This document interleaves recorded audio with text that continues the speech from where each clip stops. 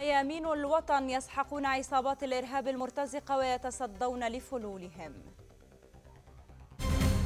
известную принципиальную позицию, которая заключается в том, что الخارجية الروسية تدعو للكف عن المتاجرة بقضية السلاح الكيماوي المفترض والتحقق من صدق المعلومات التي تتحدث عن هذه المسألة والقوات المسلحة المصرية تعد لهجوم واسع على الإرهابيين في شبه جزيرة سيناء.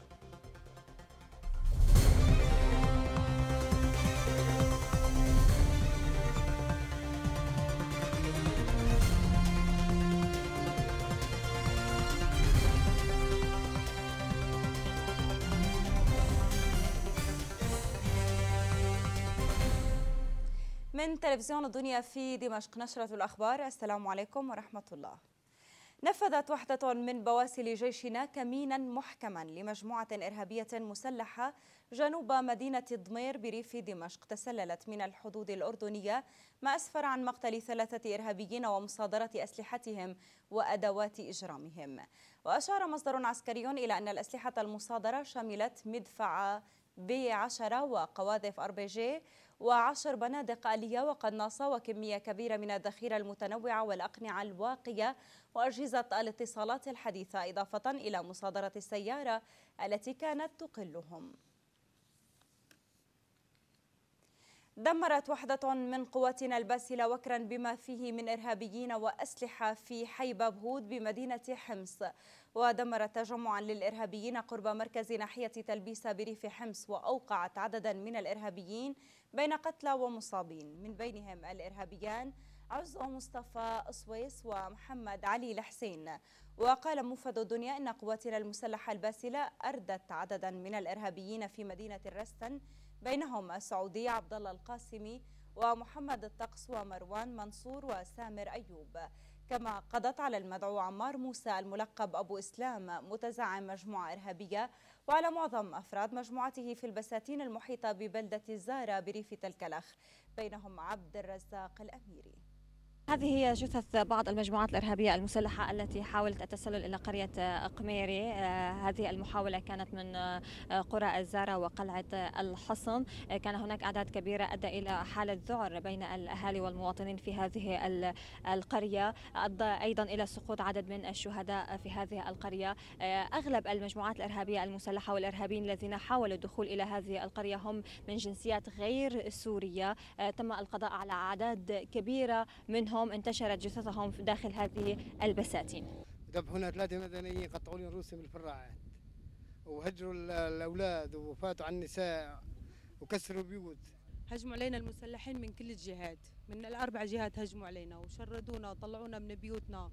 ما نعرف الضرب منين يجينا بالصواريخ ما ما بنعرف شو شكل السلاح اللي يضربوا علينا فيه. إذا بدي أحكي لك شو صار اللسان بيعجز عن الوصف. شو بدي أوصف لك؟ إجونا من جميع الجهات يا خيتي. المسلحين عمتنا عمي. من مغرب من مشرق من شويهد من الحصن من الحصرية من الزارع هسه وين بدي قلك من شميسي. ما بقى نعرف من أين بدنا نطلع. هجروا الطفل هجروا النسوان الأولاد غاروا علي حرقوا البيوت فوق راسنا. هدموا بيوتنا. شو هسه بدي قلك اشكالهم غريبة. دقونين طويلة حاطين هون على راسهم جبهة النصرة حاطين شيء أسود. هن من جبهة النصرة والدقون تبعهم طويلة وهن قصار ماني طوال قصار. وصلنا الآن إلى قرية قميري هذه القرية التي تعرضت يوم أمس لمحاولة مجموعات إرهابية مسلحة التسلل إلى داخل هذه القرية. كما تلاحظون آه، يعني طبيعة هذه القرية آه، آه، خلفها هو وديان وتلال. هذه الوديان كانت هي وجهة المجموعات الإرهابية المسلحة التي تسللت عبر هذه الوديان إلى هذه القرية. حسب مصدر عسكري صرح لنا بأن المجموعات الإرهابية المسلحة هم شيشانيين يعني إرهابيين شيشانيين بالإضافة إلى أنهم من جبهة جبهة النصرة. قامت بعض المجموعات الإرهابية المسلحة المتواجدة في بلدة الحصن ومزارع الشويهد بالإضافة إلى قرية الحصرجي والزارة بمهاجمة قرية قميري الصغيرة والآمنة والاعتداء عليها وتهجير أهاليها بالإضافة إلى آه، كسب آه، أو سرقة مواشي هذه القرية وممتلكاتها وقاموا بتهديم منازل نتيجة الضربات الهاونة تستخدمها المسلحون وضربات الدوشكا العربات ال 23 الجيش لوحدات الجيش العربي السوري المتواجدة على أطراف قرية قميري وبالقرب منها قامت بالتحرك بشكل فوري والتصدي للمجموعات الإرهابية المسلحة. إذا هي محاولة جديدة من المجموعات الإرهابية المسلحة بالاعتداء على المواطنين الآمنين فكان لحماة الديار قولهم وكلمتهم بالقضاء عليهم. كانت معكم كندا الخضر لأخبار الدنيا من محافظة حمص. في إدلب استهدفت وحدة من قواتنا المسلحة تجمعا للإرهابيين قرب المنطقة الصناعية شمال شرق مدينة بنش ما أسفر عن مقتل عدد من الإرهابيين منهم الإرهابي خالد عبد الحميد سميسم. هذا في وقت يواصل فيه ميامين الوطن. تقدمهم على أوتوستراد أريحة اللاذقية وتطهيره من عبوات القتل التي زرعها الإرهابيون في المنطقة. وخلال عملياتهم النوعية تمكن بواسل الجيش العربي السوري من فرض السيطرة على عدد من القرى الواقعة على أطراف الطريق وملاحقة ما تبقى من فلول عصابات الإرهاب المرتزقة.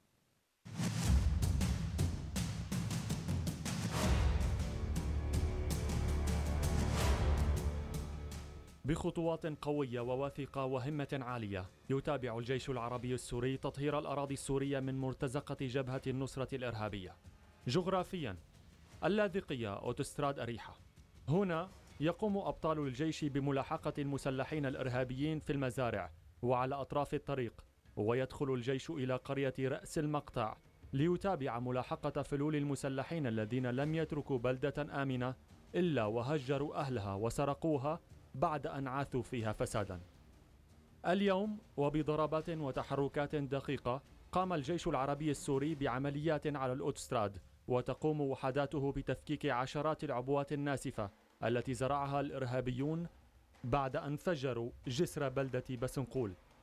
كما تابع الجيش سيطرته على مناطق شاسعة في المنطقة حيث بسط سيطرته على عدد من القرى على أطراف الطريق وسيطر بالكامل على بلدة بسنقول وكفر شلايا القديمة ورأس المقطع وأرم الجوز ويتم حاليا تأهيل الطريق وإعادة ترميمه ومتابعة فلول الإرهابيين. بيد من حديد يضرب الجيش العربي السوري بإيمان بعقيدة بكلمة حق يضرب. كل من تسول له نفسه التلاعب بأمن البلد وإرهاب مواطنيه لتكون كلمة أبطال الحق هي العليا في ساح القتال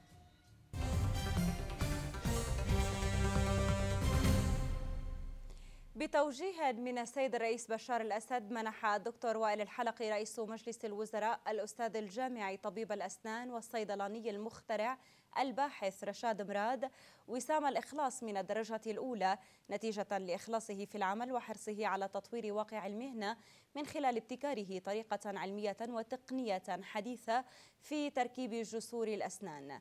وأشار الدكتور الحلقي إلى مدى اهتمام الرئيس الأسد بتطوير البحث العلمي والثقافي في الجامعات السورية وتوظيف العلوم في البحوث العلمية للوصول إلى ابتكارات علمية تخدم عملية التنمية في مختلف المجالات.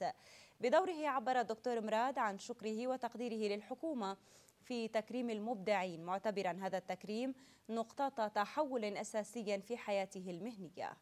حقيقة أنه الاختراع هو بيجي بمرحلة النضوج المهني والرقي والارتقاء في المهنة.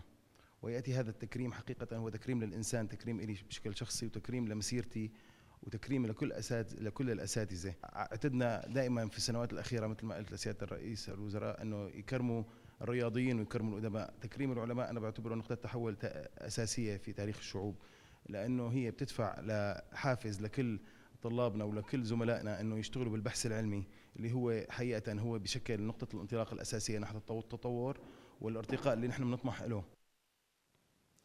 عقد التكتل الوطني الديمقراطي المعارض مؤتمرا صحفيا في فندق الداماروس في دمشق حول الأزمة الاقتصادية التي تعيشها سوريا ولمناقشة عدة محاور لوضع حلول إسعافية لمعالجة التراجع الاقتصادي. حيث ناقش المجتمعون من أعضاء التكتل والخبراء الاقتصاديين محاور عدة منها السياسة الاقتصادية التي ينتهجها الفريق الاقتصادي في الحكومة والسياسة النقدية لمجلس النقد والتسليف ودعم المواد الأساسية والطاقة والرواتب والأجور. التكتل قدم رؤيته لحل اقتصادي إسعافي وطرح طرح بعض الخطوات والأفكار لتخفيف الآثار السلبية نتيجة العقوبات الاقتصادية وضعف القيمة الشرائية لليرة السورية مقابل الدولار. عقوبات اقتصادية وتضخم كبير حاصل والقيمة الشرائية لليرة السورية مقابل الدولار أصبحت ضعيفة. آثار سلبية نتيجة لذلك تستوجب إجراءات إسعافية لوضع حل اقتصادي إسعافي. قوى التكتل الوطني الديمقراطي المعارض وبحضور عدد من الخبراء الاقتصاديين عقدت مؤتمرا صحفيا.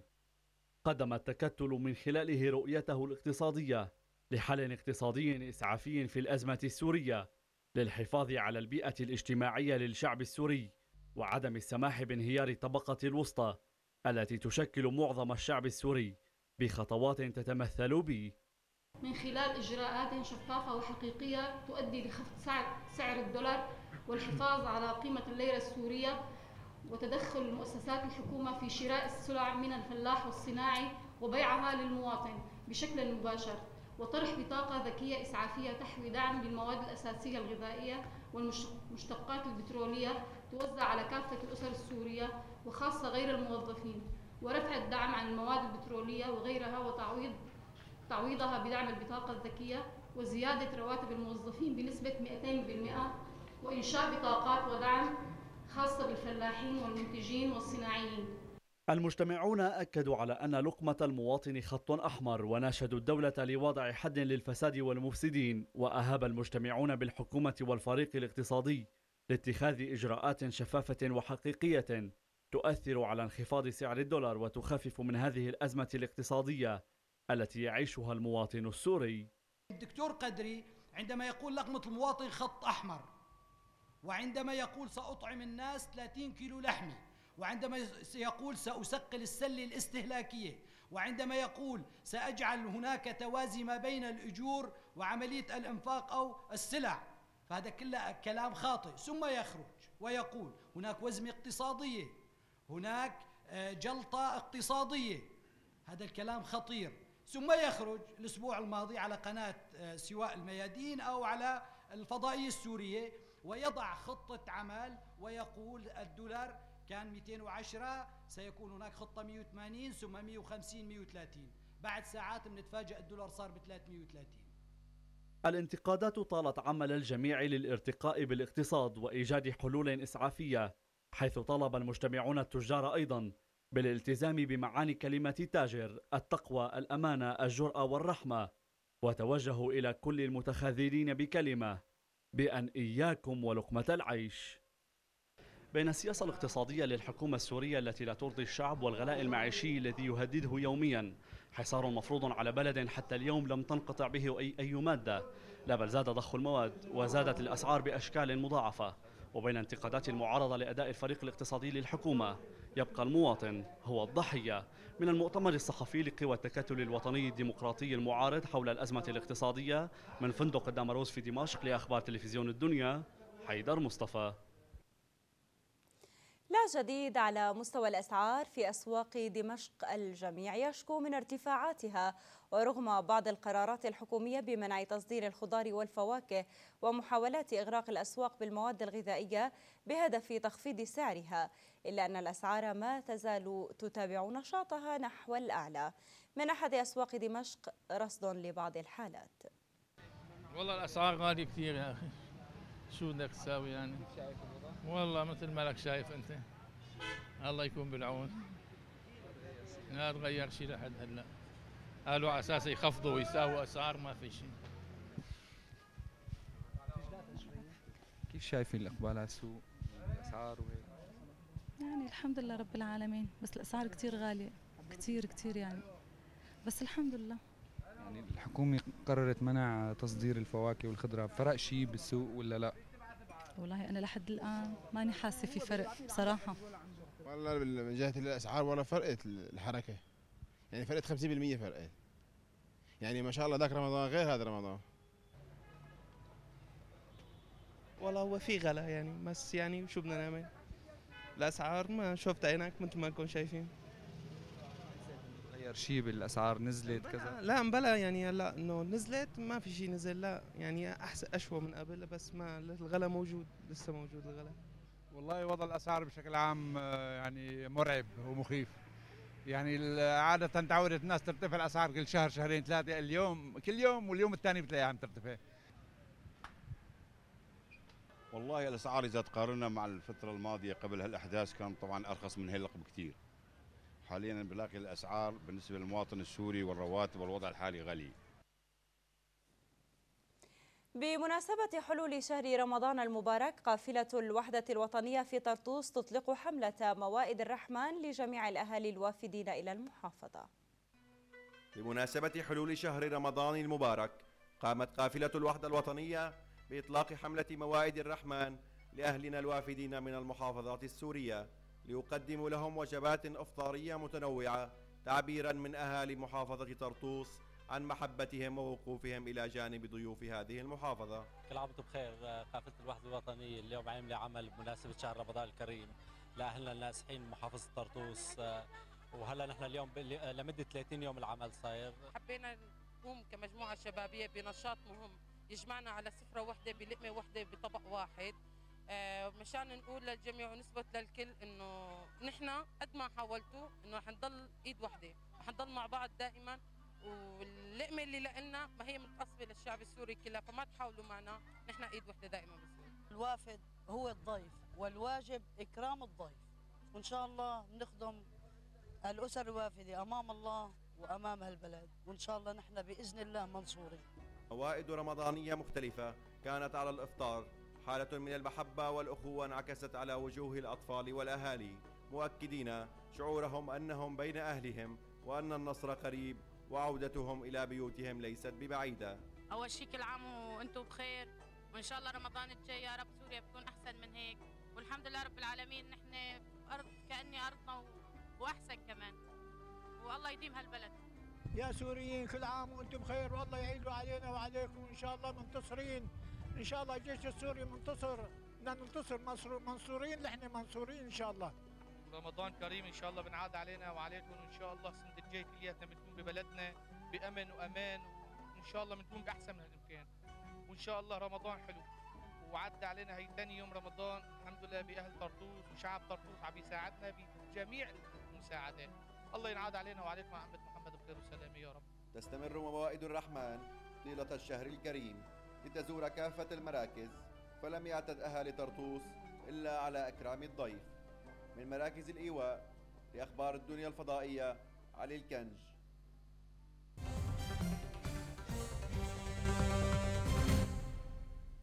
أكد محافظ اللاذقية خلال تدشين عدد من المشاريع الخدمية في مدينة اللاذقية أن الحكومة تسعى لتأمين أفضل الخدمات وتطويرها وتوفيرها للمواطنين. وفي معرض شرحه عن تلك الخدمات قال المحافظ إنه تم افتتاح النافذة الواحدة في اللاذقية التي تؤمن للمواطنين إمكانية دفع القيم المالية على مستوى مدينة اللاذقية سواء للماء أو الهاتف أو الكهرباء. وذلك كمرحلة أولى لينتقل المشروع في مرحلة أخرى ليشمل المحافظة ككل وفي مرحلة أخيرة ليشمل جميع المحافظات. وشدد المحافظ أن المحافظة تتابع تنفيذ المشاريع الخدمية بشكل دائم حرصا على إنجاز هذه المشاريع في الوقت المحدد. قمنا صباح هذا اليوم بافتتاح صالة النافذة الواحدة في مدينة اللاذقية التي تؤمن للإخوة المواطنين إمكانية دفع القيم المالية على مستوى مدينة اللاذقية سواء للماء أو الكهرباء أو الهاتف. هذا كمرحلة أولى في المرحلة الثانية على مستوى المحافظة ككل. ثم في المرحلة الثالثة على مستوى المحافظة والمحافظات الأخرى ثم انتقلنا إلى بعض المشاريع الخدمية تتبع تنفيذها حتى نكون على اطلاع دائم بإنجاز هذه المشاريع في الوقت المحدد. ثم قمنا بتدشين مشروع خط مياه حرف المسيترة الذي سيؤمن إن شاء الله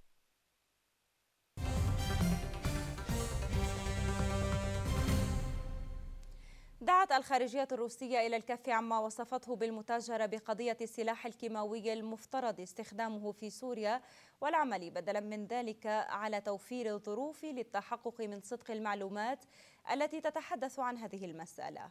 وقال المتحدث الرسمي باسم الخارجية الروسية ألكسندر لوكاشيفيتش تعقيبا على ادعاء المتحدثة باسم وزارة الخارجية الأمريكية جينيفر بساكي باتهام روسيا بعرقلة عمل مجلس الأمن الدولي على ضمان وصول بعثة خبراء الأمم المتحدة إلى سوريا للتحقيق بخصوص الأنباء التي تحدثت عن استخدام السلاح الكيميائي. وأضاف لوكاشيفيتش أن التصريح الأمريكي يمثل تفسيرا غير دقيق لواقع الأمور حول التحقيق الدولي في استخدام الكيميائي السلاح الكيميائي في سوريا. مضيفا يجب التوقف الآن عن المزايدة بهذا الشأن وضمان مراجعة المعلومات الموثوق بها حول احتمال استخدام السلاح الكيميائي في سوريا وذلك بالتنسيق بين دمشق والأمم المتحدة. بدوره اعتبر مساعد وزير الخارجية الإيرانية للشؤون العربية والإفريقية حسين أمير عبد اللهيان اعتبر أن محاولات الغرب إرسال الأسلحة إلى الإرهابيين في سوريا لا تشكل بداية جيدة لعقد المؤتمر الدولي حول سوريا. وقال عبد اللهيان إن محاولات الغرب تسليح الإرهابيين في سوريا لا يشكل بداية جيدة لعقد المؤتمر الدولي حول سوريا في جنيف. مشيرا إلى أن الحكومة السورية تبذل ما بوسعها لمكافحة الإرهاب وتحقيق الإصلاحات.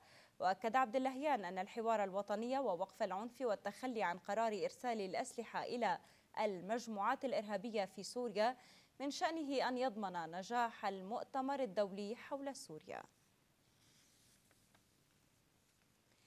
إلى ذلك تتوالى التقارير الإخبارية التي تؤكد وصول مئات الإرهابيين من شتى أصقاع الأرض للقتال في سوريا تحت مسمى الجهاد وسط تنسيق سوري روسي لتبادل المعلومات حول استخدام الجماعات الإرهابية المسلحة للسلاح الكيميائي في خان العسل.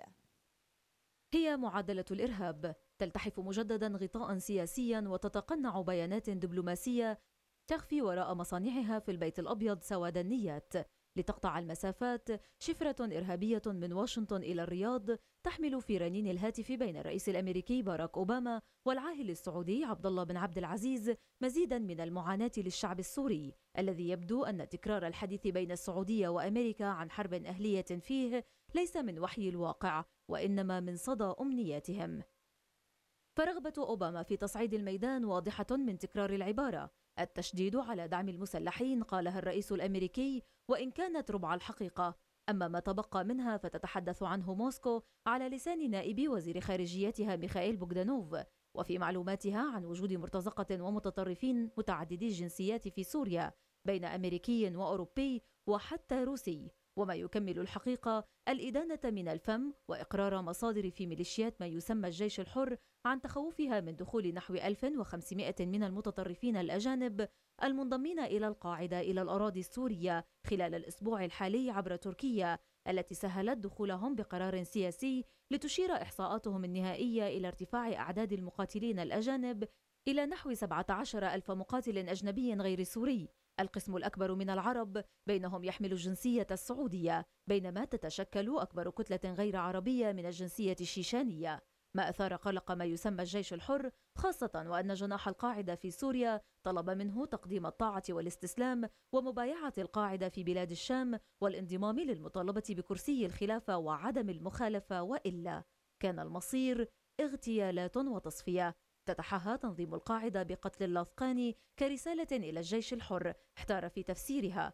خاصة وأن من يدعي أمريكيا دعمه دون غيره من المتطرفين ما زال يرسل الأسلحة لهم وللتنظيم من البوابة التركية ومن البوابة اللبنانية أيضا حيث كشفت صحيفة الديار أن مرفأ طرابلس في شمال لبنان يستقبل بواخر تحمل أسلحة ويتم تفريغها تحت حماية مسلحين أصوليين يسيطرون على المرفأ.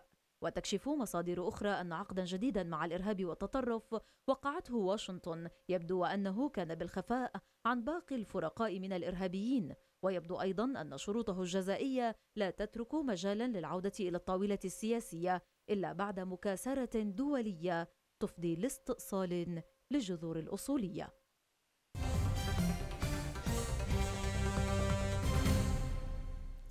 في مصر شارك عشرات الآلاف من أنصار جماعة الإخوان المسلمين والجماعات الإسلامية المتحالفة معها أمس في مليونية أطلقوا عليها اسماء الزحف للمطالبة بعودة الرئيس المعزول محمد مرسي. لكن الثوار في ميدان التحرير حشدوا في المقابل من أجل محاكمة مرسي وقادة الإخوان والقصاص للشهداء الذين سقطوا في عهدهم. وتوافد عشرات الآلاف من أنصار مرسي أمام مسجد رابع العدوية بمدينة نصر. وميدان النهضة أمام جامعة القاهرة بالجيزة منذ الساعات الأولى لصباح أمس. وبعد أن وصل العديد من المسيرات من داخل القاهرة. وكذلك عدد كبير من الباصات من مختلف المحافظات. وحاول المئات من أنصار الرئيس المعزول القفز من أعلى الحاجز الذي وضعته القوات المسلحة بشأن الطيران بمحيط الحرس الجمهوري. فأطلقت القوات الأمنية المتواجدة عيرة نارية في الهواء أجبرت المتظاهرين على العودة إلى الخلف والاعتصام بمحيط مجمع المصطفى الإسلامي. بالمقابل تظاهر آلاف المواطنين أمس في ميدان التحرير للمطالبة بمحاكمة قادة جماعة الأخوان المسلمين خصوصا الرئيس المعزول على الجرائم التي ارتكبت خلال العام الفائت والقصاص للشهداء الذين سقطوا في حوادث متفرقة. وتوافد على ميدان التحرير وقصر الاتحادية آلاف المواطنين للمشاركة في الإفطار الجماعي للقوى الوطنية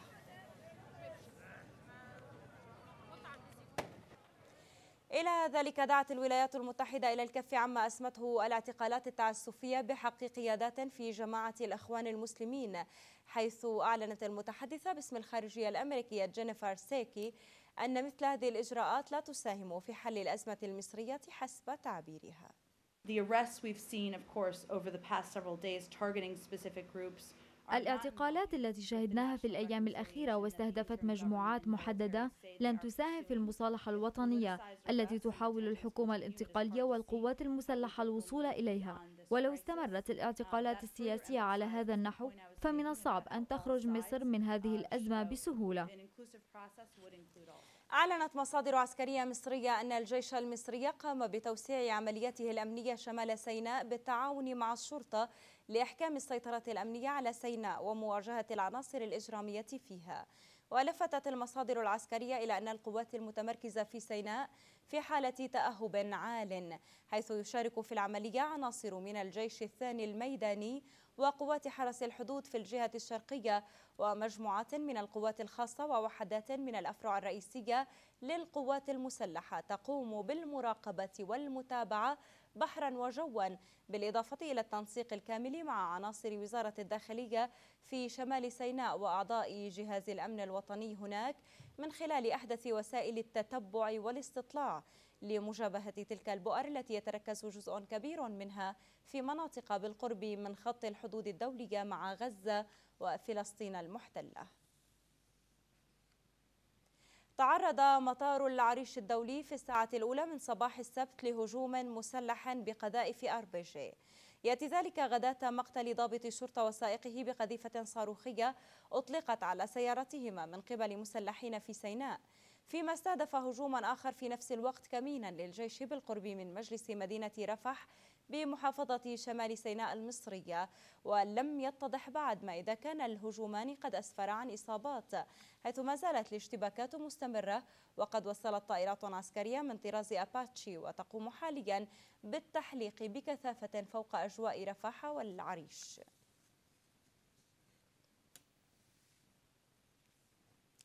أكد مصدر عسكري مصري كبير بأن ضباط الاستخبارات والاستطلاع المصريين برفح تراقب تحركات أفراد الأمن التابعين لكتيبتي اليرموك وعكا التابعتين لحركة حماس المنتشرة على الحدود الفلسطينية مع مصر. وقال المصدر إن أجهزة الاستخبارات المصرية ترصد تحركات حماس ومراقبتها للأمن المصري وهو ما دعا الجيش المصري لاختراق المجال الجوي لقطاع غزة بطائرة استطلاع لتصوير تحركات أفراد الحركة العسكريين داخل قطاع غزة خاصة بمناطق رفح وخان يونس وساحل البحر لرصد أي تحركات معادية ضمن خطة الدفاع العسكري المعدة من قبل قيادة الجيش الثاني الميداني. كما كشف المصدر الأمني بأن إغلاق معبر رفح البري وإعادة فتحه جاء كخطوة احترازية من مصر لكي تسمع وعودا من حركة حماس بعدم المساس بأمن مصر القومي. بدعوى مساعدة الأخوان المسلمين وأن تكون حماس محايدة من أجل خلق أجواء مستقبلية مع مصر وتكون العلاقات ناجحة بشكل فعال يخدم القضية الفلسطينية.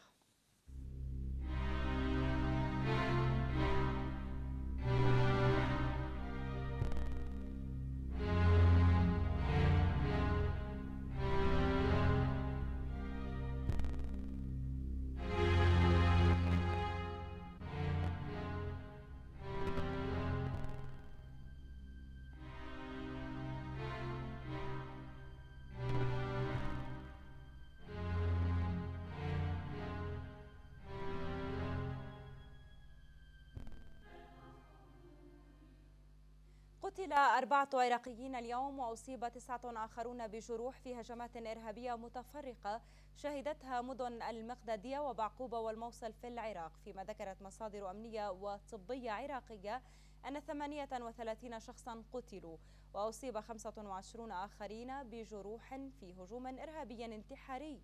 استهدف مقهى في مدينة كركوك شمال العراق. ونقلت وكالة الصحافة الفرنسية عن مصدر أمني رفيع المستوى قوله إن انتحاريا يرتدي حزاما ناسفا. فجر نفسه في مقهى بحي حزيران بكركوك ما أدى حسب الطبيب إبراهيم شكور إلى مقتل 38 شخصا وإصابة 25 آخرين بجروح. وذكرت الوكالة أن العشرات من أهالي الضحايا تجمعوا أمام دائرة الطب العدلي التابعة لمستشفى كركوك العام وهم في حال من الغضب بانتظار معرفة مصير أبنائهم. حكمت محكمة سعودية اليوم على شخصين بالسجن ثمانية وتسع سنوات بتهمة المشاركة في مظاهرات في منطقة القطيف شرق البلاد. وذكرت وكالة الأنباء السعودية الرسمية أن المحكمة حكمت على أحدهما بالسجن ثمان سنوات للمشاركة في ثلاث مظاهرات في العوامية في منطقة القطيف وحيازة صور مناوئة للمملكة وولاتها في هاتفه المحمول ومعرفة عدة أشخاص من الخارجين على ولي الأمر بالقطيف وأدوارهم التي يقومون بها من توزيع المنشورات والزجاجات الحارقة وتستره عليهم.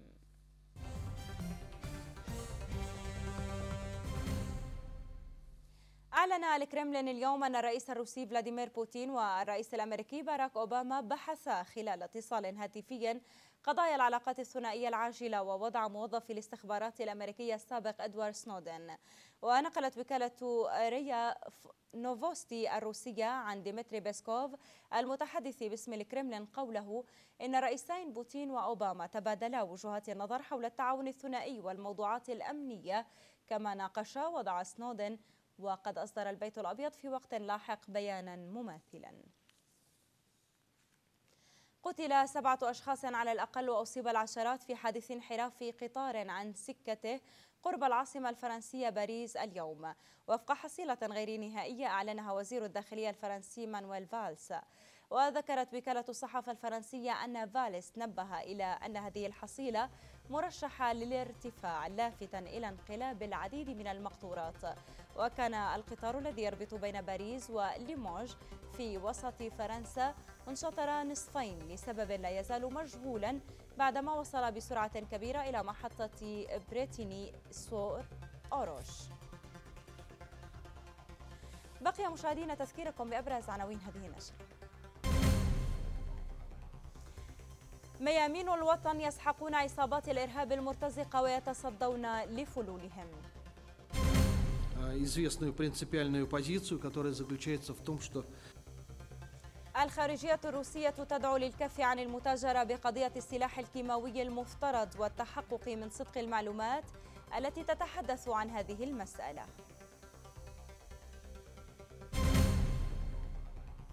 والقوات المسلحة المصرية تعد لهجوم واسع على الإرهابيين في شبه جزيرة سيناء.